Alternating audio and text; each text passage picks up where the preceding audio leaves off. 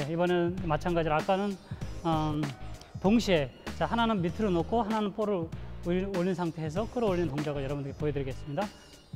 빨- 맞고서 어, 그리고 순간적으로 다리를 올리면서 살짝 끌어올리는 이 동작입니다. 네, 다시 한번 보여드리겠습니다. 자, 볼 앞에서 한 2, 3cm, 3cm 정도 공간을 놓고 위로 순간적으로 집어넣고 자, 이런 자, 이런 동작을 할 수 있겠습니다.